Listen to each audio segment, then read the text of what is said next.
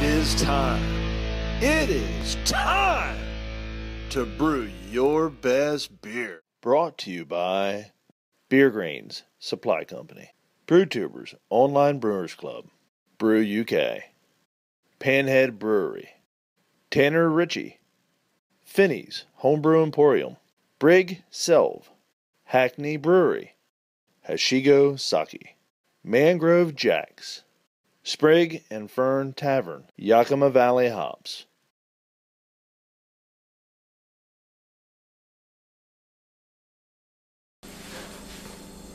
Welcome back to the SJ PORR 2014 Beer Challenge. The beer that I'm going to review now is the Chocolate Stout. It's JA014 US. So let's get a pour on this and see what we got. It's a cool looking bottle cap. Let's see. Oh, we got some good hits. And some good smoke coming out the top of the bottle. Alright, let's see what we got here. It's actually it's pretty cloudy. It's more of a brown color than it is a black or anything. Looks like pretty, good carbonation. And a creamy tan colored head on top. So let's review this beer. Okay, let's see what we got here. So like I said, this is this is a pretty murky beer.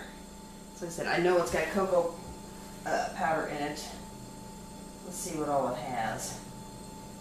It has two row pale malt, Maris Otter malt, chocolate malt, roasted barley, victory malt, crystal 80, crystal 40, unsweetened cocoa powder, Centennial hops, Challenger hops, and East Kent Golding hops. USO4 for the yeast. Hmm. Doesn't smell like what I was expecting it to smell like. Hmm. I thought maybe I could smell the cocoa right up front, but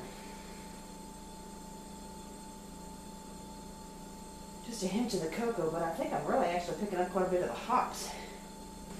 It almost has a peppery smell to it.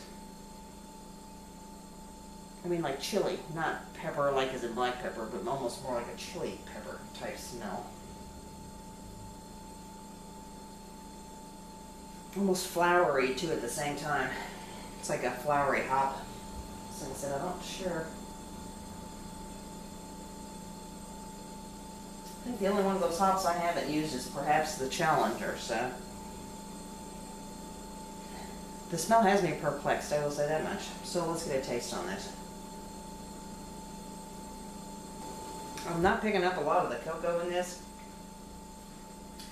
I'm getting more of the, actually the hops on this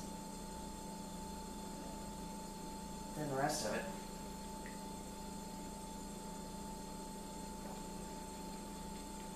It's pretty bitter First out. So like I said, the uh, color of it is more of a brown than a black. I'm just not getting the cocoa out of this. So as I said, I'm just picking up more of the, the hop bitterness than I am pretty much the malts and stuff.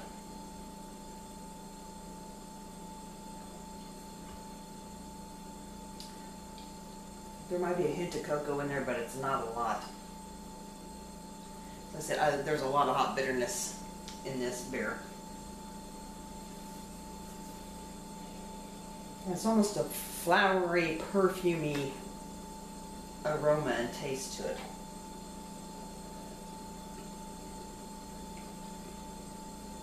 Hmm. It's different. It's not what I was expecting. So like I said, so let's let this sit for 15 minutes and uh, see what we come up with. It is leaving some nice lacing down the side of the glass, as you can see. So we're going to leave this for 15 minutes and see if some more of that cocoa comes through. So we'll be back. Okay, I'm back. Had an emergency. Dribbled beer all down the front of my shirt, so I had to stop real quick and change.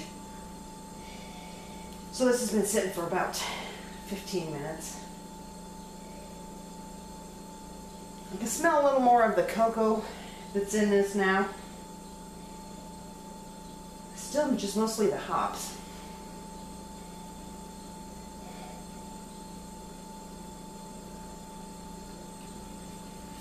And I'm just really, I'm not really picking up on the flavor of the cocoa in this. Like I said, I'm getting a lot of really floral hop notes off this beer. Is it. The head, the head's sticking around. It's there. Just not a lot of it.